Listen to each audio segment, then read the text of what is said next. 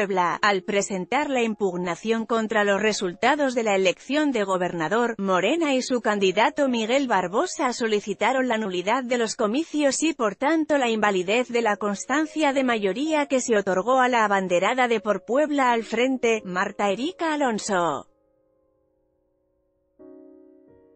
También puedes leer, exige abanderado de Morena voto por voto en Puebla dentro del plazo legal para la presentación de actos de inconformidad legal, el partido político interpuso el documento ante el Instituto Electoral del Estado, IE, que por ley deberá turnar el expediente al Tribunal Electoral del Estado del Puebla, TIP.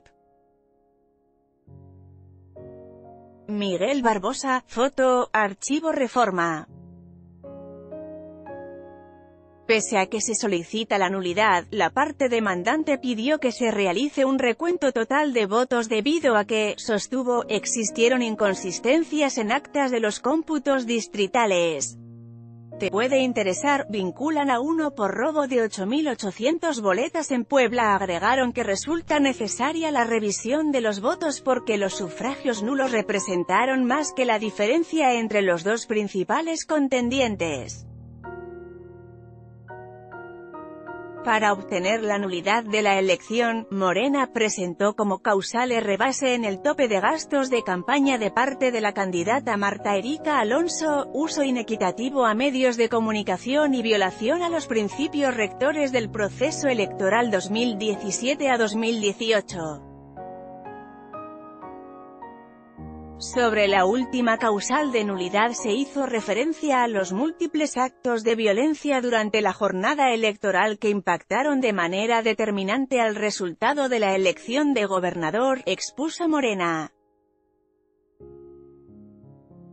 Dentro de esos actos se destacó el uso indebido de recursos públicos por parte del Ejecutivo Estatal y esa situación se acreditó al menos con dos hechos específicos, la detención ilegal y arbitraria de brigadistas de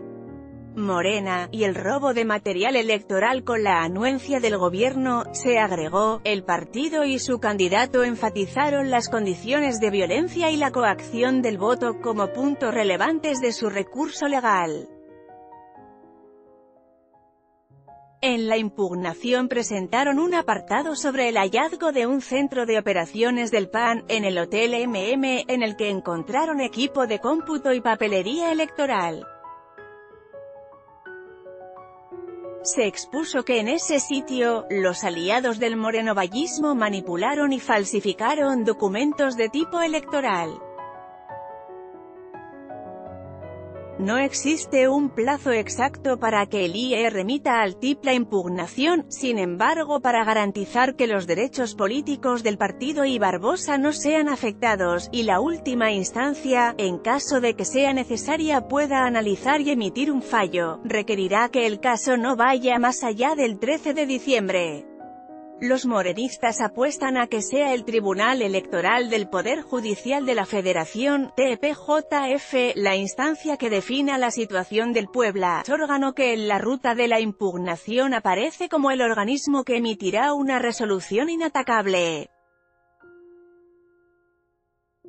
De acuerdo con la nueva legislación local, el próximo, a titular del Ejecutivo deberá asumir el puesto el 14 de diciembre. Hasta el momento Marta Erika Alonso es quien se encuentra acreditada como gobernadora electa al recibir la constancia de mayoría de parte del IE. Esta nota incluye información de reforma en esta nota, elecciones impugna Morena triunfo Marta Erika Alonso PAN.